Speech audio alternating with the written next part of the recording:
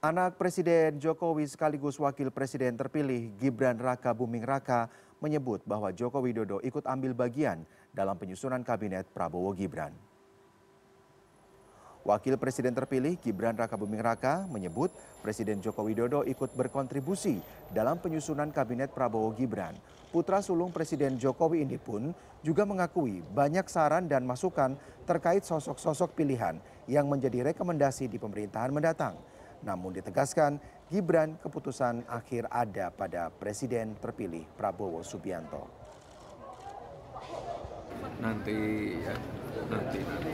kan uh, tinggal 9 hari lagi. Keputusannya di Pak Presiden terpilih, personil-personilnya dan lain-lainnya.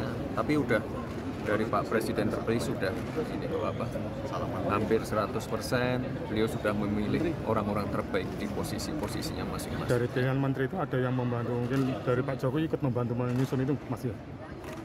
Ya ada beberapa masukan-masukan. Tapi sekali lagi keputusannya di Pak Presiden terpilih. Komposisi dari